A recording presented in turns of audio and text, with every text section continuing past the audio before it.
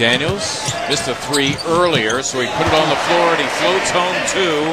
Well done by McDaniels.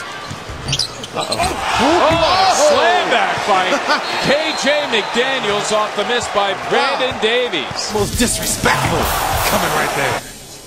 Right, he is checking Michael Carter Williams. They put him in for size reasons. Good move there by Rick Carlisle, knowing that Michael Carter Williams. Spur won a couple of rings with them. That.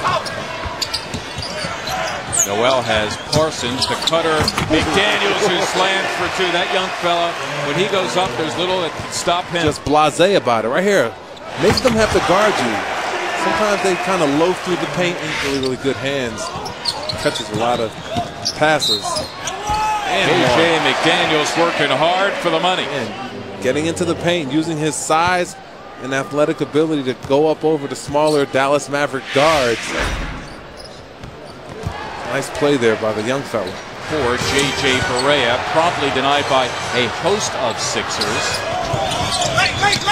K.J. McDaniels fearing nobody, including Tyson Chandler. Don't show it off. Exciting rookie, K.J. McDaniels. And this is what Sixer fans have been clamoring to see. Get the young fella some minutes. Let him make his mistakes out there. McDaniels thinking about a three. Step on Parsons, and he'll get two at the line. A lot of people were marking it, but he said he didn't shoot from the outside a lot in college because against Jefferson behind the back, forcing the issue. Got it back and missed. KJ McDaniels a couple of times. McDaniels again. Look at that. Count it again for McDaniels. A relentless KJ McDaniels. McDaniels for three. Yes!